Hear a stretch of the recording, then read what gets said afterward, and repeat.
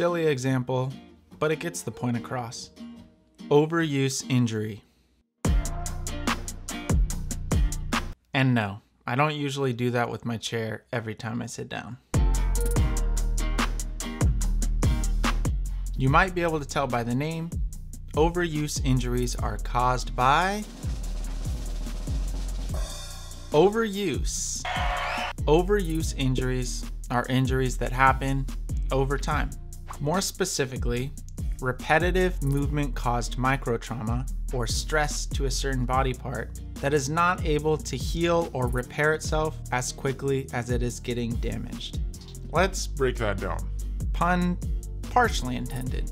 If you perform a movement repeatedly that damages a muscle, tendon, ligament, or bone, like in such little amounts that you don't even notice at first, and then keep doing that movement, eventually that damage is going to get bad enough to where it is noticeable, then become common, and then prevent you from doing things. That is an overuse injury. Because they happen over time, it can be much more challenging to pinpoint a cause compared to acute injuries. Acute injury being one that happens suddenly. Overuse injuries can also be caused by multiple variables. Some things that may lead to an overuse injury include repetitive improper form or technique, repetitive excessive load, or repeated insufficient recovery.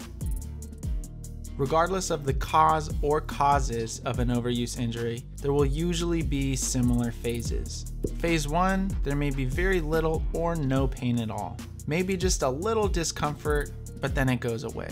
Phase 2, that minor discomfort becomes a little bit more common.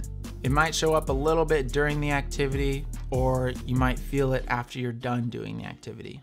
Phase 3, that discomfort may turn into pain during the specific activity or movement.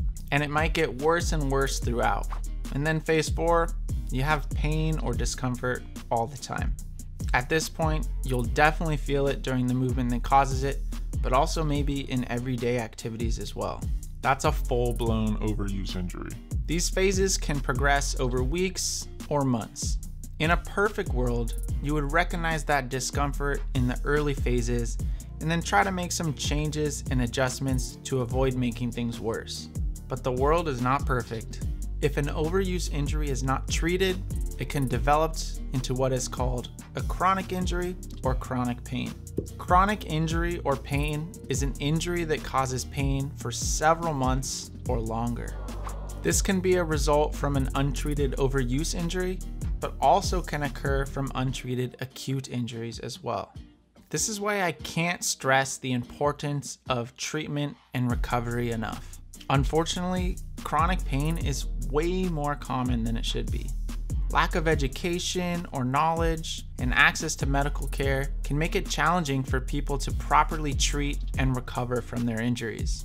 Also, treatment and injury recovery isn't cool. It can be a lot of work.